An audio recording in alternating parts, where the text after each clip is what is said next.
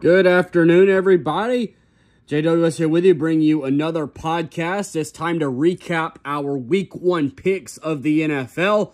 Went 8 and 8, folks, uh, losing Sunday Night Football and Monday Night Football to even the record up. And that, that's kind of a trend that we've seen over the last few years. We don't really pick Thursday Night Football, Sunday Night Football. Those picks don't really go our way. I almost had these two picks flipped. I really almost took the Cowboys and I really almost took the Jets here.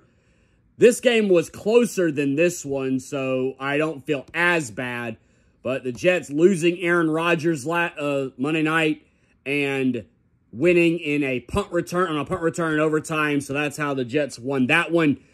Very glad I did take the Saints in this one. The Buccaneers being the Vikings. Very surprised by that.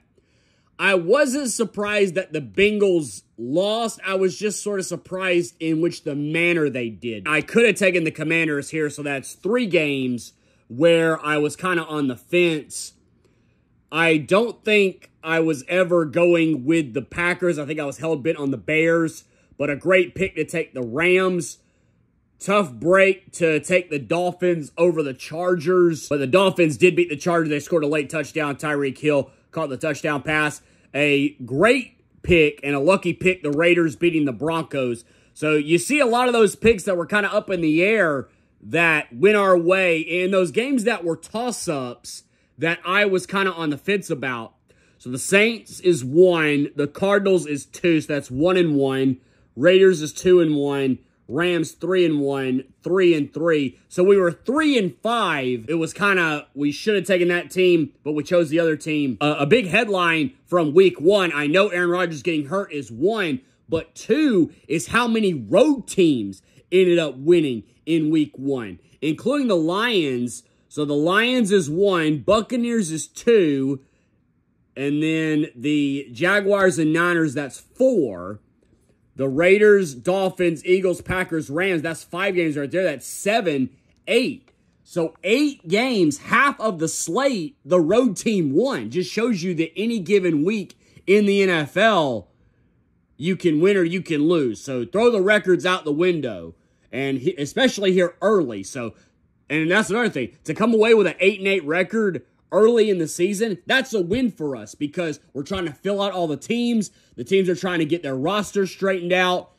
You don't know what the high draft picks are going to do. You don't really know what everybody has early in the season. So to go 8 and 8, I consider that a win. The Eagles did not look as dominating as I thought. I mean, I did say that Bill Belichick was going to have a plan. I thought that they would understand what Nick Sirianni was looking to do. It wasn't so much that they stopped the Eagles, they just made them have turnovers. Turnovers are a part of the game. You turn the ball over, you might lose. So the Eagles turning the ball over, they kept the Patriots in that game. And Justin Fields just absolutely did not look like the quarterback of the future for the Bears. And that's interesting. I've seen everything on social media saying the Bears traded away the number one pick. They could have had Bryce Young. Now, Bryce Young didn't play bad. I think he turned it over twice, maybe, against the Falcons. If I had to say what rookie quarterback played the best in week one, it has to be Anthony Richardson. He played very well against Jacksonville, but all rookie quarterbacks lost. They were 0 3. CJ Stroud did not play his best. The, Ra- the Ravens did a great job of stopping him. And I give the Rams a lot of credit. I think the Rams were without their top two receivers and they won that game because they were throwing it to a number 10, uh, uh, Puka Kuna, I think is his name, or maybe Puka's his last name, but they were throwing that ball to that guy. And when you're throwing it to that guy and not Van Jefferson, you know, no Robert Woods in LA, Odell Beckham is gone, Cooper Kupp is hurt. So to have a third string receiver and he's your main guy that you throw the ball to, I think he had what, like 10 catches?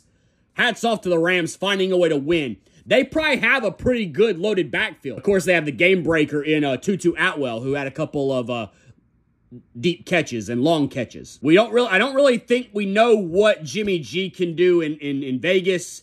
Hopefully, Jakobi Meyers can play this week when when uh, I said Oakland when Vegas takes the field because having Davante and Jakobi as a one-two punch, I think that's going to benefit uh, Jimmy Garoppolo. And I, I think the Raiders maybe need to answer a little bit in that, that running back room because I don't think they're gonna have. I don't think they have really a, a do it all back. I think their their running game is maybe a little lacking. We'll see what Baker Mayfield can do for an encore in Tampa. I think they're at home this week, and we'll see.